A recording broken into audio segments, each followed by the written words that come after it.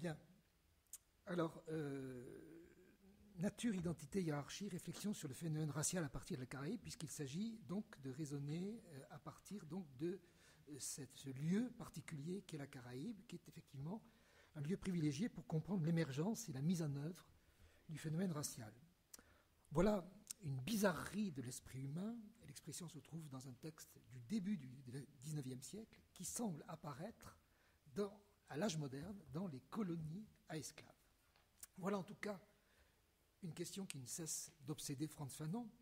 Comment se fait-il que dans ces vieilles colonies, les perspectives de l'analyse sociale marxiste se brouillent et que la société semble marcher que par-dessus tête, les infrastructures y jouant le rôle de superstructure et vice-versa? Alors, pour commencer, je voudrais euh, expliciter un petit peu les termes que j'ai employés dans le titre de ma communication. Nature. Le phénomène racial s'articule bien évidemment à un donné naturel qu'il serait illusoire d'exclure de l'analyse. Ce donné naturel, c'est celui de la variabilité biologique de l'homme, variabilité au niveau des apparences physiques, couleur, traits du visage, mais aussi variabilité maintenue par la transmission des apparences au travers de l'hérédité. Identité. Cette variabilité apparente, donc perceptible par la vision, et sa transmission enregistrable par l'expérience, sont interprétées par l'esprit humain au travers d'un processus distinctif, reconnaissance d'une singularité, et catégorielle, constitution d'agrégats par similarité.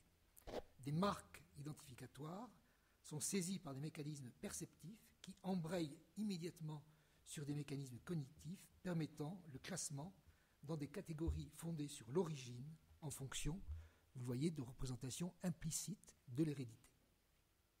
Hiérarchie enfin, les marqueurs raciaux sont investis d'une signification sociale à portée discriminante, la catégorisation raciale servant d'instrument pour un traitement différentiel des individus, que ce traitement prenne la forme de la domination ou de l'exclusion.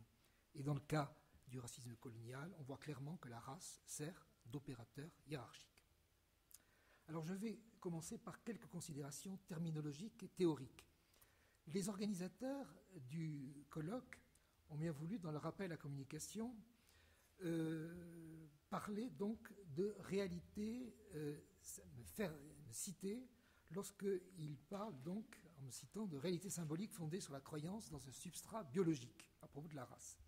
Alors c'est une expression que j'avais employée effectivement euh, il y a maintenant plus de 25 ans dans un colloque au Sénat dont le titre était Faut-il supprimer le mot race de la Constitution française? Vous voyez que ces débats sont anciens. Alors je me situais bien sûr dans la perspective de la race comme construction sociale, mais une conception sur laquelle les fondements de l'altérité ne sont pas seulement sociaux, mais également naturels. On ne saurait effectivement parler de race, à mon sens, que si au rendez-vous cette naturalisation de la différence, où l'on voit que l'on décale d'un cran l'acception du terme, puisque là, on la situe au niveau des représentations et des pratiques sociales qu'elles inspirent, tout en prenant acte pour s'en distancier de l'ancienne acception qui ne faisait qu'entériner un partage de l'humanité conçu comme réel et objectif en groupe discret, collection d'êtres humains distinguables par la particularité de leurs apparences physiques, dérivant elles-mêmes de la séparation des ascendances. Évolution sémantique peut être replacée dans une certaine chronologie, puisque l'ancienne acception est celle qui correspond à l'usage biologisant du terme, qui apparaît à la charnière du XVIIe et du XVIIIe siècle, qui concerne d'abord la sphère savante, puis qui va passer dans le lexique populaire au cours du XIXe siècle, et la nouvelle acception émerge, à mon avis, dans les années 1970. Et elle est aujourd'hui remise en cause depuis le début des années 2000, avec l'affirmation par certains du retour d'une certaine pertinence biologique de la notion. On en a parlé ce matin, je vais y revenir dans un instant. Alors d'abord, premier problème, historique et épistémologique, comment, lorsqu'on crute le passé, éviter le péché d'anachronisme, terreur de l'historien? Est-il possible d'utiliser le terme pour des époques et des lieux où ni le mot, ni la notion qui lui correspond n'existent Certes, on sait que le mot est ancien, puisqu'on peut le faire remonter au Moyen Âge, mais il ne correspond pas à la notion qu'on lui donne aujourd'hui, puisqu'il signifiait avant tout une lignée familiale. Cela dit, nous pouvons poser le postulat suivant. Nul phénomène n'a besoin pour exister du mot qui sert à le désigner. la vision de la réalité à laquelle renvoie le terme de race, dans le sens que nous lui donnons aujourd'hui, peut surgir dans une formation sociale sans qu'un mot en fixe le concept. Il est donc licite de parler de phénomènes raciaux pour des périodes préexistant à l'usage du terme, mais aussi dans d'autres lieux où ni le mot ni la notion ne sont présents.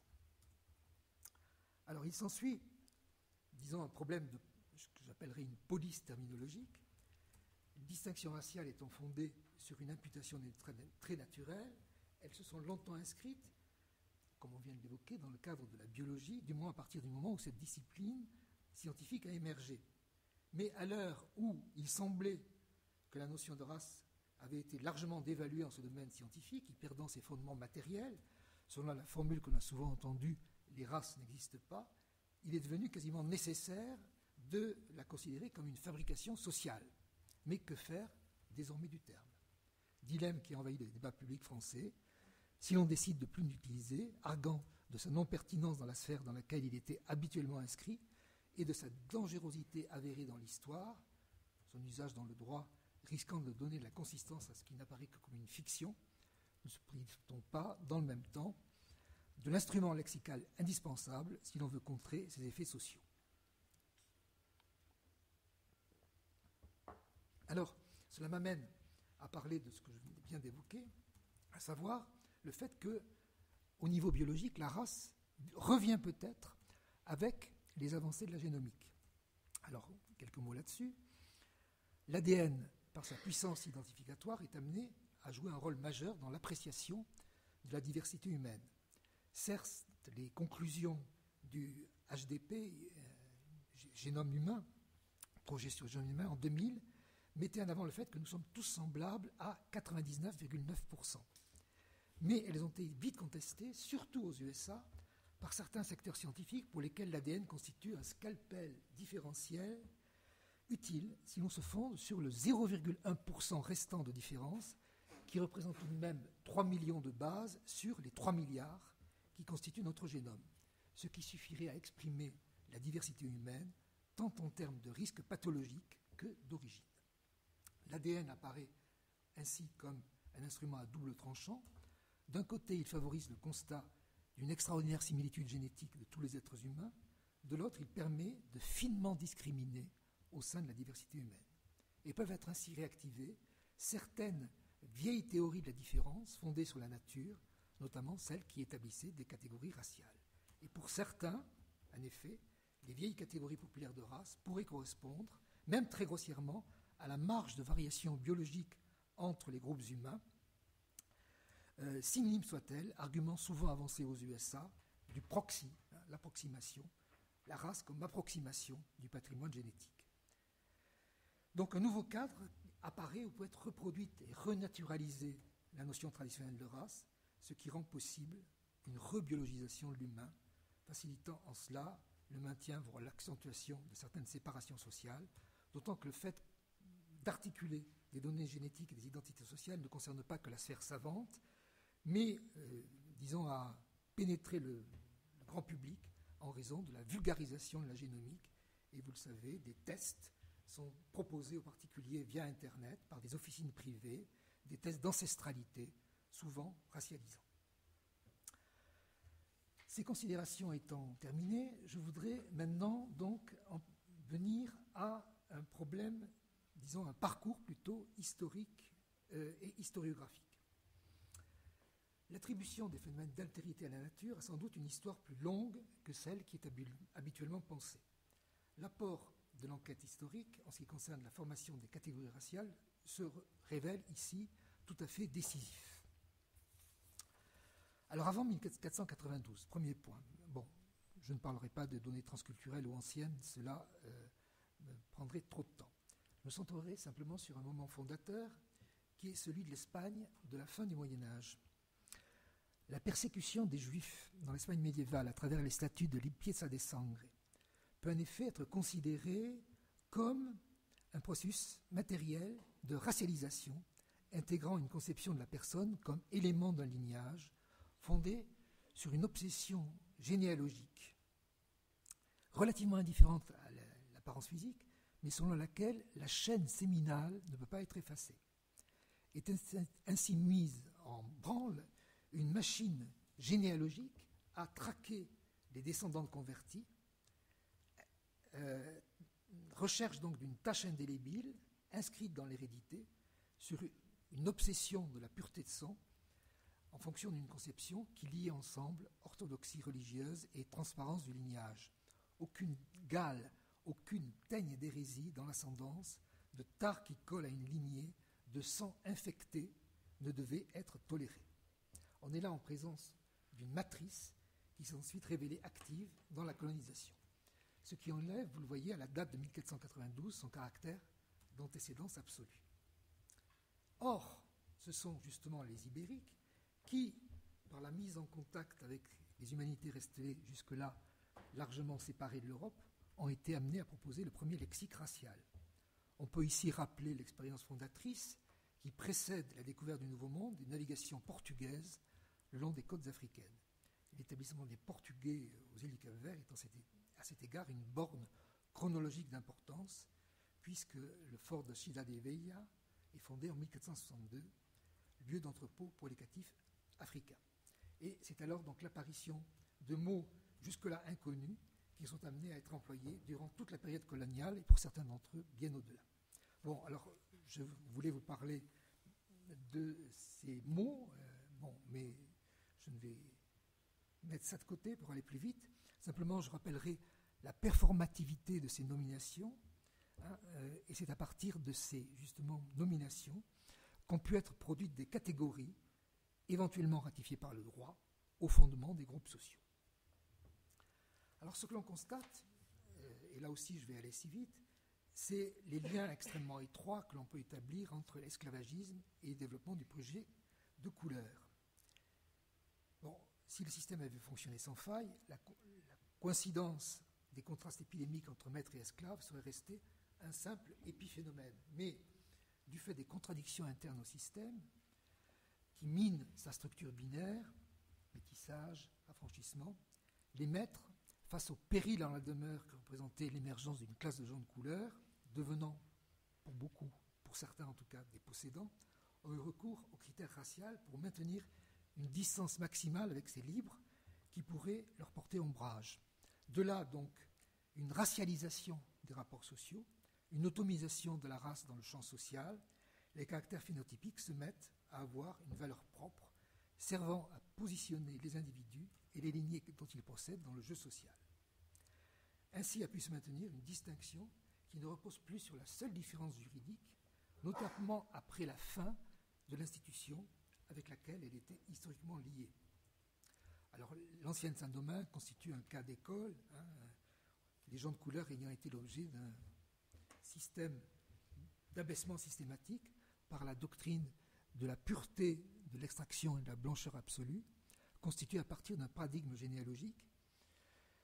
Et sur ce front de la race lignée s'est érigée la fameuse ligne de couleur infinie qui a été bien décrite par Moreau de Saint-Méry qui installe une stricte séparation entre les blancs et tous les autres, ramenés, quel que soit leur degré de décoloration, à l'autre couleur primitive, pour la raison qu'ils en sont en partie issus.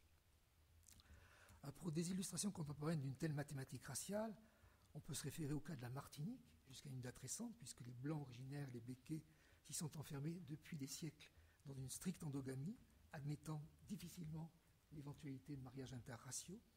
On peut également citer bien sûr le cas américain avec la One Drop Rule, cette règle d'hypodescendance, qui est un instrument généalogique permettant d'attribuer une entité raciale non ambiguë à chaque individu, installant une grande, grande clarté distinctive entre blanc et noir. L'une des catégories étant amenée à englober tous les mélanges éventuels, avec le développement d'un large continuum phénotypique, du noir à la pâleur la plus extrême, alors que l'autre est supposé être euh, maintenu dans sa pureté. C'est là la traduction maximaliste euh, d'une conception absolument asymétrique du métabolisme racial, réduisant l'identité blanche à un objet d'altération infiniment vulnérable et l'identité noire à un agent de corruption parfaitement efficace, comme si l'ancêtre noir postulé était doté d'une telle puissance qu'il serait capable d'imprimer sa marque à toute une lignée. De manière générale, la vieille colonie est animée d'une mixophobie fondamentale, on en a parlé, à savoir donc euh, le scandale de l'union interraciale susceptible d'engendrer des individus mêlés dans un jeu où le sexe et la race ont partie liée. Alors cette logique binaire de la ligne de couleur dont je viens d'évoquer s'accommodait, il faut bien le dire, en même temps de la réalité humaine luxuriante qui caractérisait les colonies, mais cela débouchait sur l'établissement de catégories de métissage dont le fondement, dans un premier temps, a pu être généalogique, un système qui s'apparente à celui des castas qui fut institué, en Nouvelle-Espagne, étant d'une série de tableaux euh, célèbres, hein, restitue la complexité. Et cette gradation permettait à une cascade de mépris de dévaler du plus clair au plus foncé, expression de ce qu'on a pu appeler un sous-racisme et une intériorisation du préjugé chez les gens de couleur eux-mêmes, générant une fragmentation sociale qui venait appuyer l'ordre hiérarchique colonial. Alors cette euh, articulation de la doctrine de pureté de sang ibérique de la fin du Moyen Âge, je regarde où j'en suis, il reste 11 minutes, et de ce type d'obsession généalogique qui se fait jour dans le cas du racisme coloriste colonial, permet de poser un problème de fond, celui posé par l'équivalence souvent établie entre la visibilité de l'altérité et la pensée raciale. Celle-ci peut suppléer à la non-évidence de traits phénotypiques.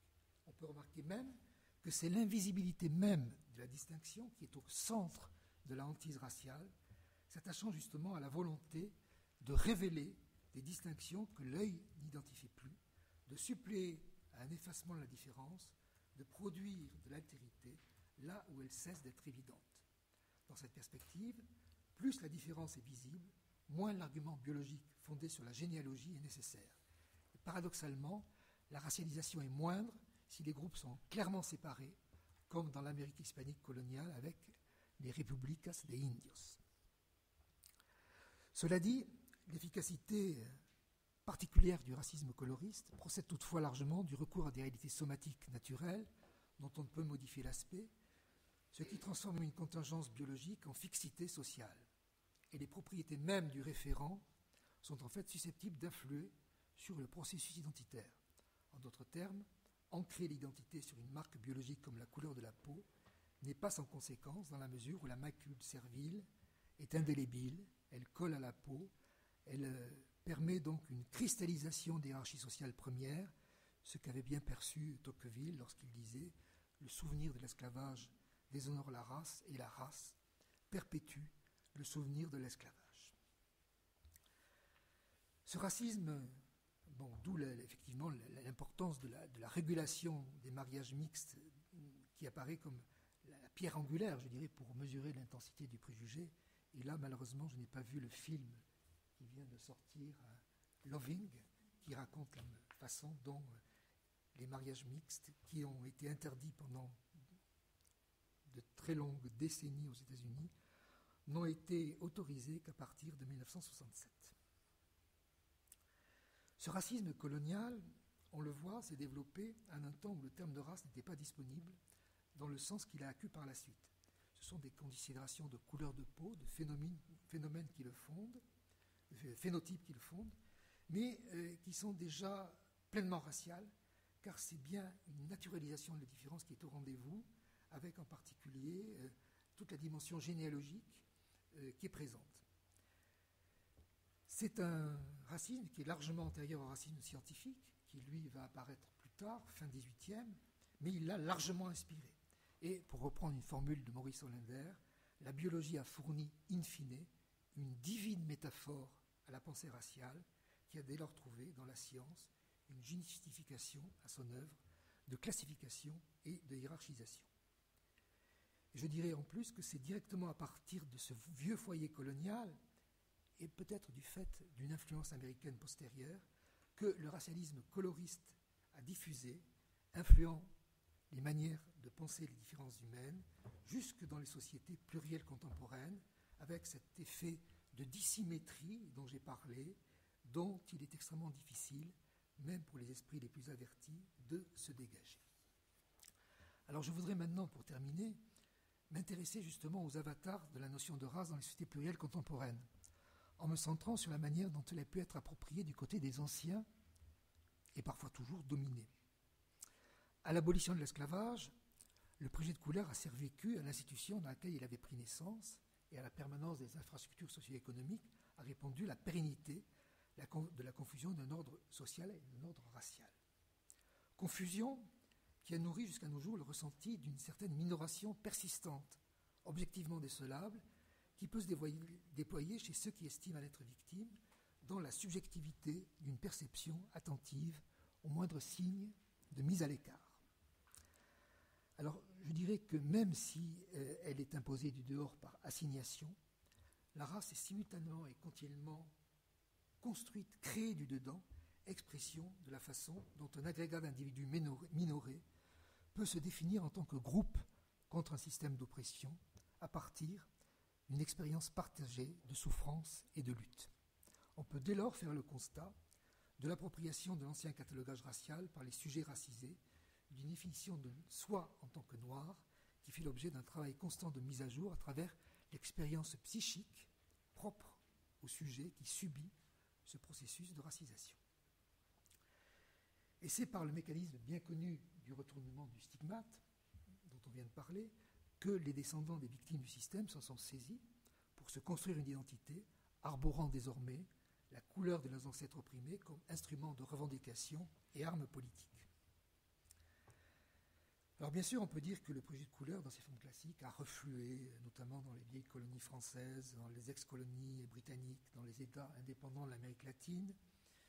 Mais euh, l'exemple des USA montre qu'en fait, il a pu perdurer jusqu'en plein cœur du XXe siècle, et il n'a pas totalement disparu dans les esprits. Et surtout, je dirais que le socle identitaire sur lequel l'ancien préjugé reposait est demeuré en place, renvoyant désormais non plus à l'ancienne assignation, mais à un contenu de conscience et de manière générale, les sociétés antillaises sont restées caractérisées par des identités de couleur, l'identification raciale pouvant ressurgir à tout instant, en particulier lors de toutes les crises politiques graves, on vient d'en parler.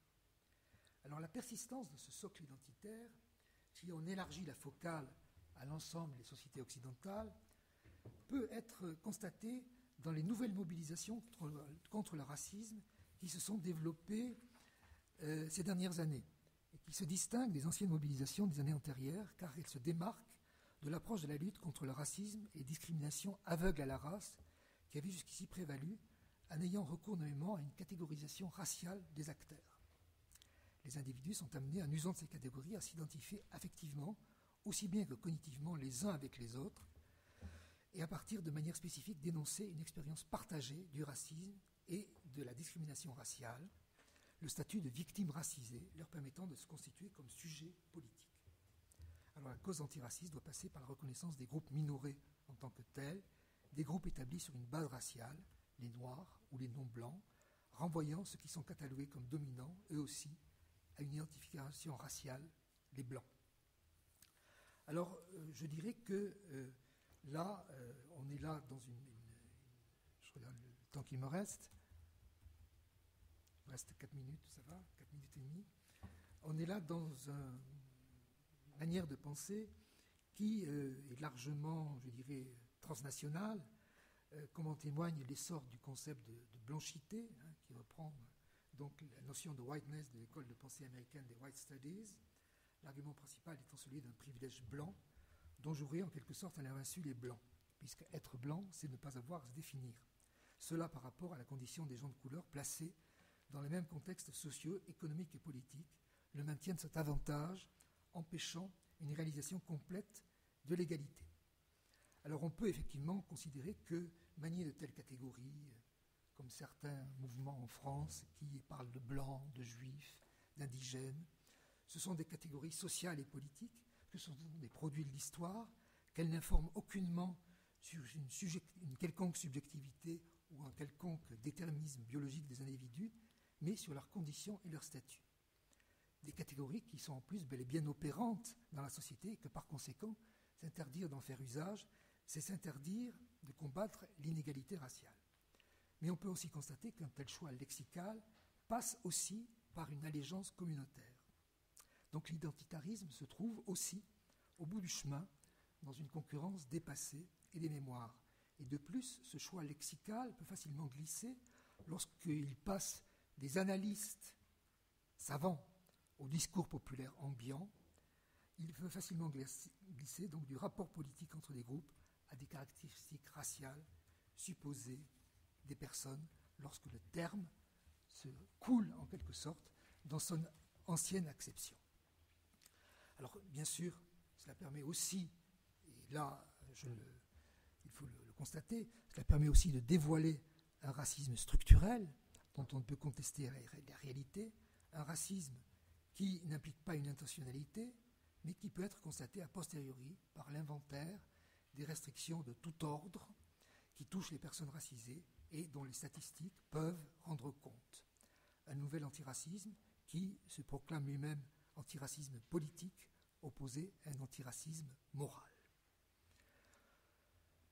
Euh, ce qui explique pourquoi l'affrontement des antiracismes se produit aujourd'hui. Un antiracisme marqué de manière croissante par des imputations réciproques de racisme. Aux USA, la color blindness, qui fut arborée autrefois par les libéraux antiracistes, est aujourd'hui taxée de racisme déguisé. Comme l'affirme Alandra Nelson dans un ouvrage consacré justement aux tests génétiques d'origine auxquels font de plus en plus appel les Africains américains, le recours au génome a émergé à un moment spécifique, celui de l'émergence de ce qu'elle appelle un racisme colorblind, qui a été effectivement adopté par ceux qui voulaient en finir, qui veulent en finir avec les politiques d'affirmative action. Pour elle, rien d'étonnant à ce que ce soit au moment où la race est niée au niveau social qu'elle devienne plus signifiante au niveau biologique grâce à ce recours à l'ADN qui est doté de propriétés uniques pour des revendications politiques, pour éclairer une histoire de l'oppression dans un climat politique de plus en plus indifférent aux demandes de justice raciale. D'où la nécessité pour elle de restaurer une color vision pour ramener à la vue les problèmes d'inégalité et avoir une compréhension plus complexe de la race. Mais un certain retour de l'essentialisme racial n'est-il pas là à l'ordre du jour surtout à l'heure, donc, comme je le disais il y a un instant, d'une rebiologisation de la race permise justement par ces avancées de la génomique. On le voit bien dans les sites qui sont, disons, très fréquentés, les sites des tests généalogiques, qui sont très fréquentés par les suprématistes blancs. Il faut donc euh, compter avec la ruse biopolitique de certaines revendications qui, loin de déstabiliser les constructions raciales, se réinscrivent dans les termes des anciennes et parfois toujours actives idéologies de séparation. Elle contribue à renforcer une certaine conception de l'identité ethno-raciale. J'en ai deux minutes, c'est très bien. À renforcer une certaine conception de l'identité ethno-raciale, une conception qui articule les revendications identitaires à l'impératif des politiques antidiscriminatoires, créant par là de la norme et délimitant le domaine du possible dans la formation identitaire et l'organisation sociale, favorisant une société où la conscience des origines raciales et ethniques fait partie de la connaissance ordinaire et où persiste donc, ou risque de persister, un certain mode de séparation des individus. Ce qui permet au demeurant le développement d'une politique des identités à quelque extrémité de l'échiquier idéologique où l'on se situe. Et là, je ne peux pas m'empêcher de parler de la campagne présidentielle actuelle. Hein, vous avez peut-être remarqué qu'une certaine frange politique extrême n'emploie pas le terme de race pour désigner les Noirs et les Arabes. Maintenant, elle s'est mise à parler tout simplement de racaille. Et puis, bien sûr, fier d'être français. Et non seulement donc l'extrême droite, mais également, ce matin ou hier, François Fillon. Et bien sûr, l'argument, enfin disons le slogan on est chez nous, on est chez nous. Donc vous voyez à quoi peut mener aussi, à l'autre extrémité, une politique des identités. Donc autant, bon, je ne me voile pas la face, hein, mon positionnement, je dirais, est clair, autant j'estime que le recours à la notion de race, à titre descriptif, comme instrument indispensable pour l'analyse, doit être absolument, euh, disons, promu, autant j'ai quelques réserves à son utilisation à titre normatif et à son éventuelle inscription dans l'action politique.